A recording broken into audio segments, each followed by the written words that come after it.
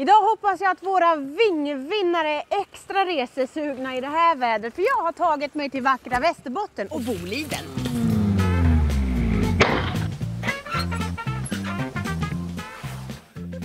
Hej Karin! Eftersom du är med i Postkodlotteriet så har du vunnit 15 000 kronor att ut och resa för. Nämen, Stort grattis! tack så hemskt mycket. Hej! Jag vet att Leif inte är hemma och han har vunnit 15 000 kronor att resa för. Men du, men härligt. Du får en kram av mig så får du hälsa gubben. Men, men, tack. Hej då! Hej då.